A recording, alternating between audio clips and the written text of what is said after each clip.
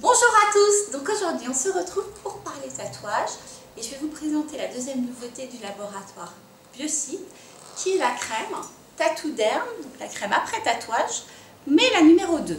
J'avais parlé dans, une, euh, dans ma dernière vidéo de la Tattoo Derm numéro 1, donc si vous ne l'avez pas vue, je vous invite à la regarder.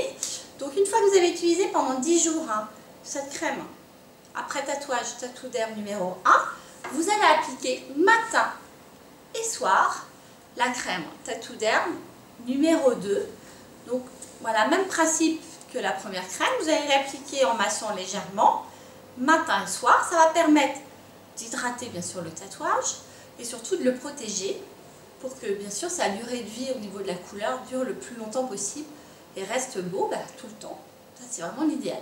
Donc cette crème là, je vais vous mettre bien sûr le lien sous cette vidéo si vous désirez bien sûr la retrouver sur notre site beautélagoon.com.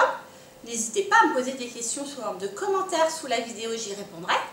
À vous abonner bien sûr à notre chaîne YouTube Beauté Lagoon. Et moi je vous dis à très bientôt